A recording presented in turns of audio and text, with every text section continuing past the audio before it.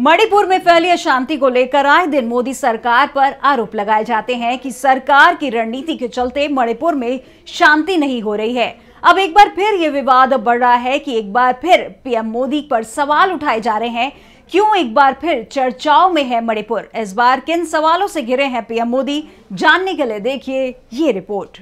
बीते एक साल से मणिपुर अस्थिर है। मणिपुर के लोग राज्य में खुद को असुरक्षित महसूस करते हैं।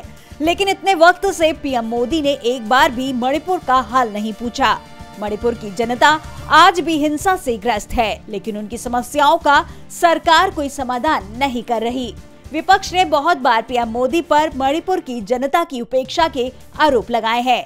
इसी सिलसिले में मणिपुर के mix martial art fighter champion Chungreng Koren का एक वीडियो सोशल मीडिया पर वायरल हो रहा है, जिसमें वो पीएम मोदी से मणिपुर में आने की अपील करते हुए नज़र आ रहे हैं।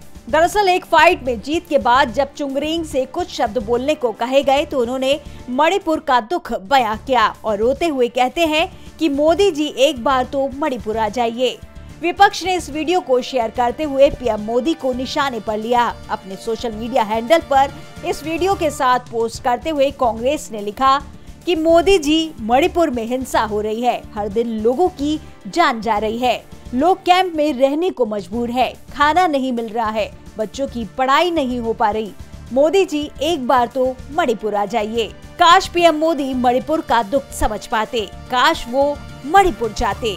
आपको बता दें कि मणिपुर की जनता का दुख दर्द बांटने के उद्देश्य से कांग्रेस ने अपनी भारत जोड़ो न्याय यात्रा की शुरुआत मणिपुर से ही की थी। यहाँ अपनी जनसभा के दौरान कांग्रेस सांसद राहुल गांधी ने मणिपुर की जनता का हौसला अफजाई करते हुए पीएम मोदी के मणिपुर न जाने को लेकर सवाल उठाए थे। अब इतनी अपील, इतनी दलीलों के बाद क्या पीएम मोदी मणिपुर की जनता से मिलने जाएँगे, ये आने वाले वक्त में पता चलेगा।